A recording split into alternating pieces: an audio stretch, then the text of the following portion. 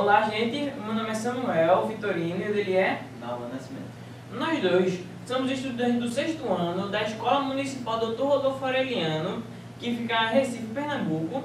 E estamos aqui para apresentar um trabalho sobre as primeiras experiências de estudantes do sexto ano com Arduino e Tinkercad. Este trabalho surgiu da importância de compartilhar as primeiras experiências de estudantes do sexto ano com Arduino e Tinkercad, especificamente pela área de Arduino. Sabe-se que o Arduino permite uma real vivência com robótica, sem falar que estimula o espírito investigativo, despertando o estudante para as ciências da vida. Nesse sentido, estão sendo propostos desafios para esse período da série, o objetivo de aguçar a curiosidade, desenvolver habilidades de criação e programação com Arduino. Ao decorrer do nosso projeto, surgiu uma pergunta, e a partir dessa pergunta surgiu um problema.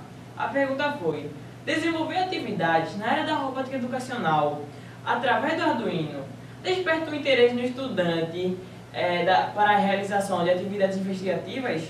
A resposta para essa pergunta é sim, pois através da nossa vivência nas condições de projetos sugeridos, despertou a vontade de criar outras propostas ou adaptá-las às existentes, aguçando a curiosidade de obter o novo ou algo que acabou de ser criado na nossa mente. E como objetivo geral, tivemos de motivar estudantes do sexto ano da Escola Municipal do Dr. Rodolfo Aureliano a se interessarem um pouco mais por robótica educacional, especificamente pela área de Arduino.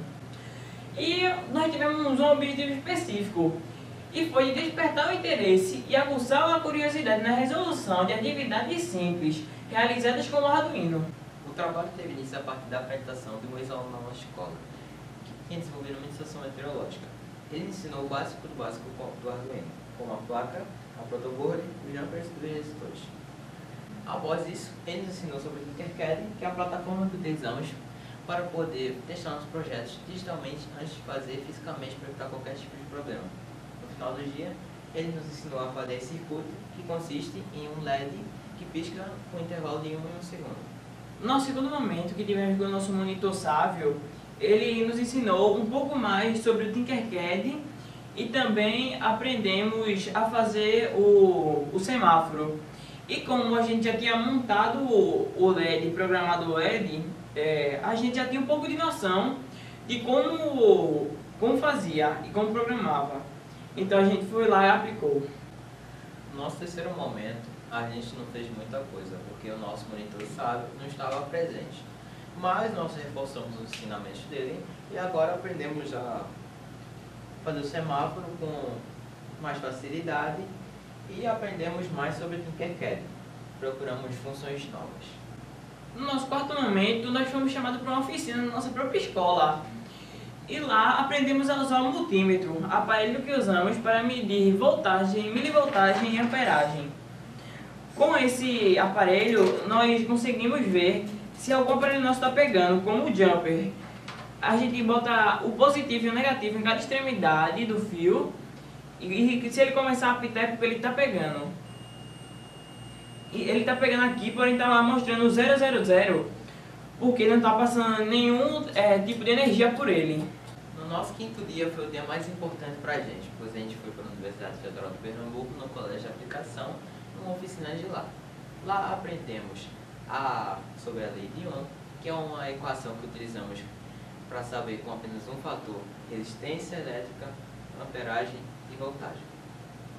E também aprendemos mais sobre o sensor de luz, que é, como o próprio nome diz, é um sensor de luz, ele vai detectar a luz.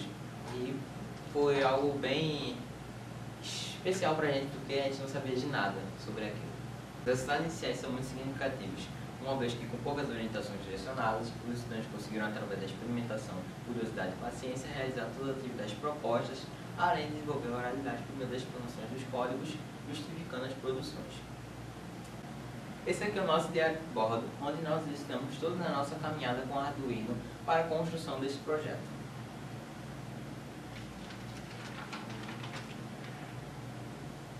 Chegamos uma conclusão que o Arduino utiliza uma linguagem de programação. E aprender uma linguagem de programação é como aprender um novo idioma.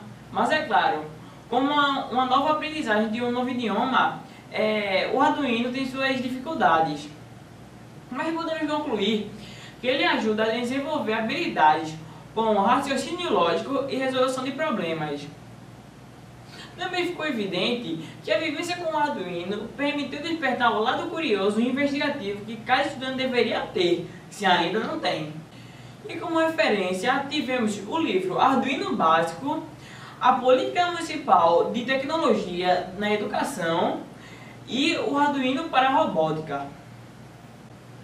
Primeiramente, agradeço a todos que estão aí nos assistindo por esse vídeo. E nós agradecemos também à FEMIC pela oportunidade de apresentarmos nosso trabalho.